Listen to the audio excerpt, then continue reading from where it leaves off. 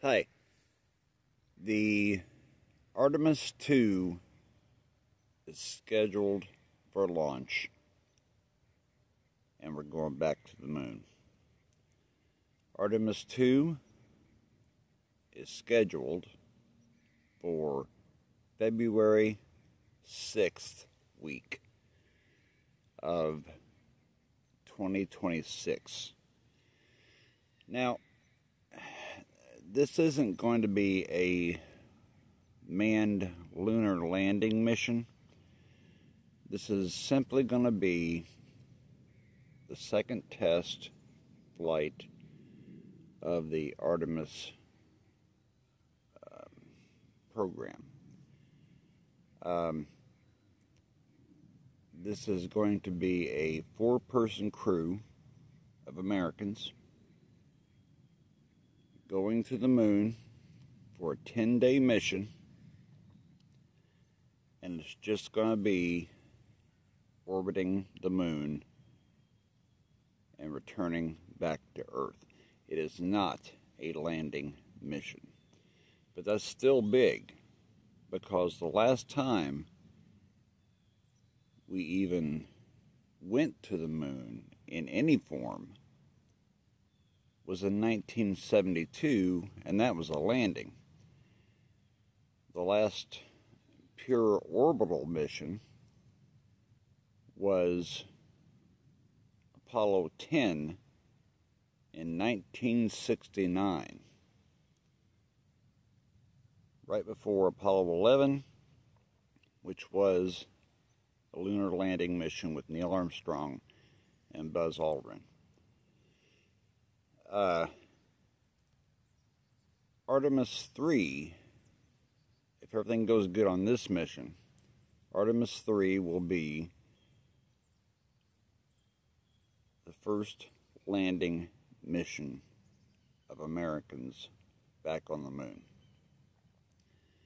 So I am really excited about this because, you know, back when all the lunar missions were going on and we were going to the moon, coming back.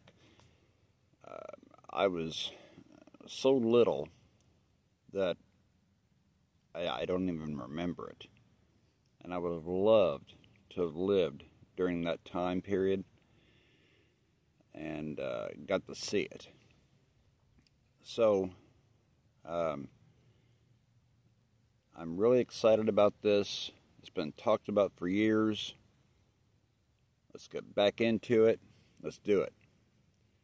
The first Apollo mission to orbit the moon with humans was Apollo 8 in 1968.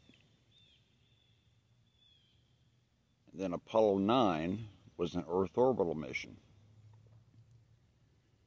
Just to test out the systems and the lunar lander in Earth orbit and things like that. Apollo 10 took the lunar lander with them to the moon, but not with the intention of landing. The intention was to separate from the command module, fly down to about within 10 miles of the moon, then go back up, dock with the command module, and return to Earth.